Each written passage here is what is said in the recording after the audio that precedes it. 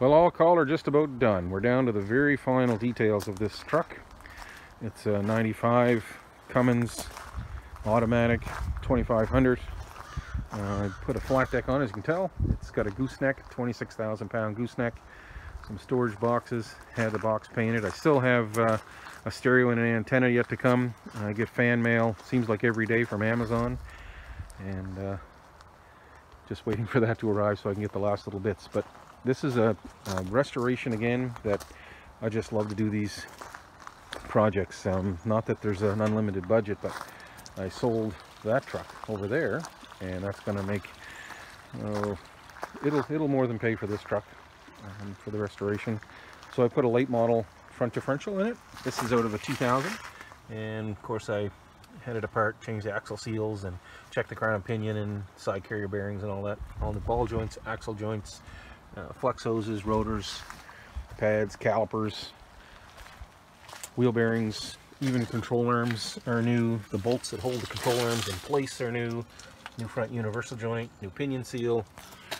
Um, every light bulb in this truck has been replaced. New windshield, new windshield wipers, new headlights, new grill, new radiator, new transmission cooler lines, new tires, new paint, boxes, uh, new airbag suspension in the back to level the level the load. I do plan to carry a significant weight in my dump trailer, which is uh, over there. You can see where that is. That'll hold a cord of wood. And Greenwood's about 4,000 pounds or so, plus a 1,200 pound trailer. I used to tow it behind one of my Volkswagen trucks, either that one or, or that one, and it's just too heavy for those lighter trucks. Even though they're a one ton, they're just, uh, you just need something more substantial. So I have a new trailer hitch.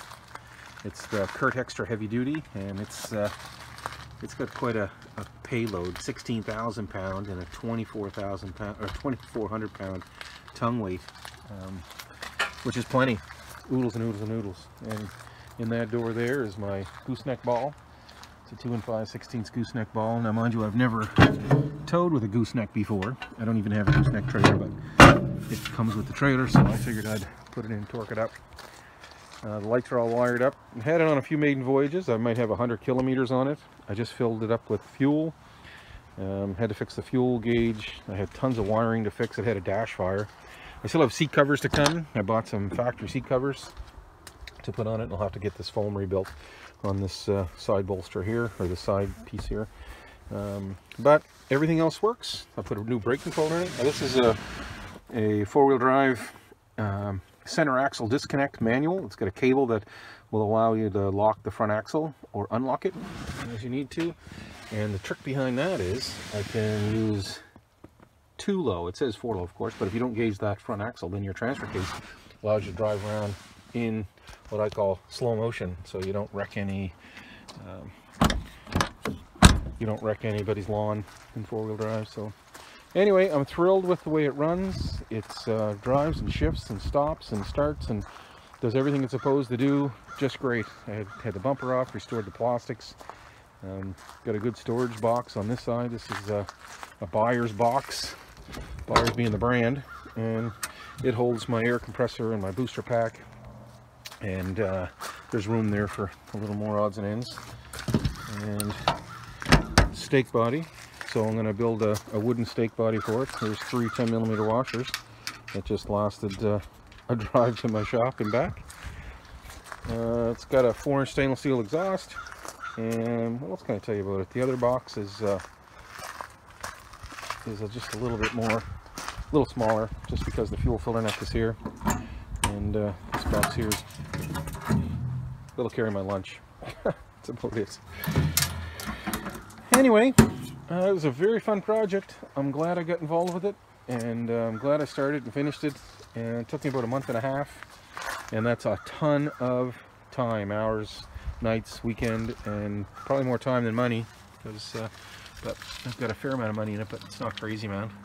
I even detailed the fender liners, took them out and painted them, and just got the overspray rubbed off of them from the last body job.